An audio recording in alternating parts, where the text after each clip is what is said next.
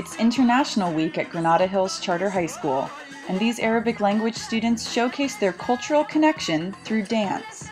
Granada's Arabic program allows Arabic heritage and non-heritage speakers to receive an education where culture and language collide.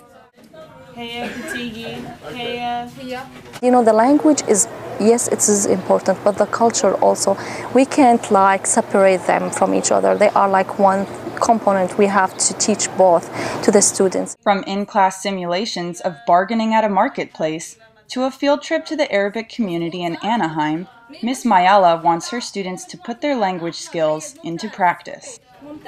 I always like to make it, you know, like a real life experience for them.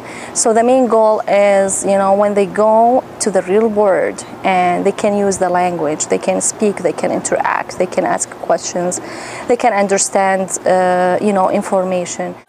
One student explains that the Heritage Speakers class has given him stronger bonds with family.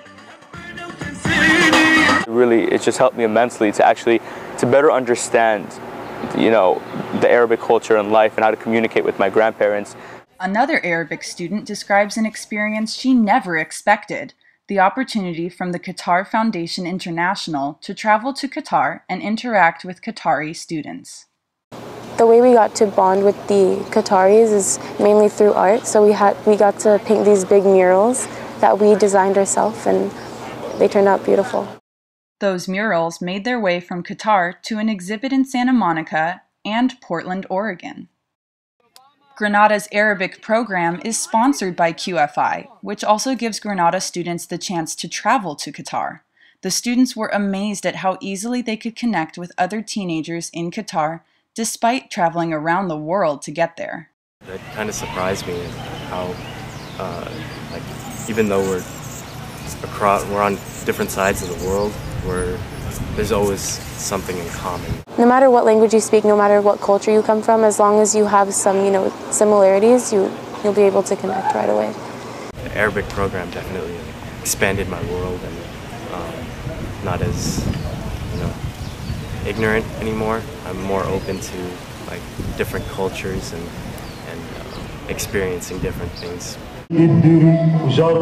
Different things like performing Arabic theater in an annual multicultural show, presented by Granada's Mesa and Desi clubs.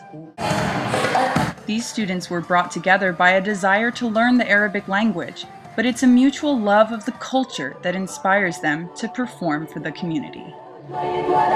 Granada offered me so much. I never thought I could go to any other high school and be a part of such a community where we just love diversity. And I feel so, so wonderful and to see all these young people there in the stage performing their own culture and doing it in passion and love.